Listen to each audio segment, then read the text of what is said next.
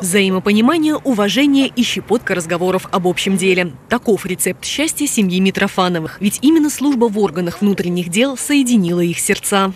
Познакомились мы на службе. А у меня супруга работает в шестом взводе, это кавалеристы.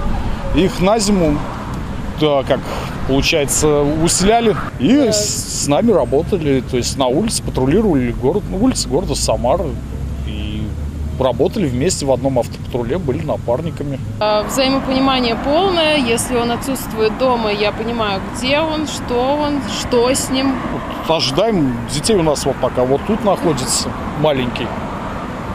Будет Александр родиться, кстати, срок поставили 2 сентября. Прямо на день. День по патрульно-постовой службы.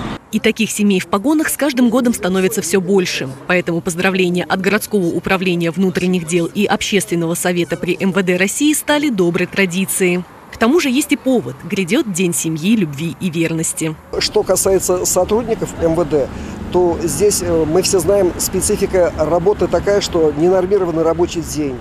А когда и муж, и жена работают в одной структуре, они понимают, знают специфику этой деятельности, и поэтому э, я считаю, что абсолютное взаимопонимание а, это гарантия крепкой, дружной, взаимопонимающей семьи. Ежегодно такие поздравления принимают десятки семей, которые служат в органах внутренних дел. Это и молодожены, и многодетные, и супруги со стажем. Ольга Хамракулова, Сергей Баскин. События.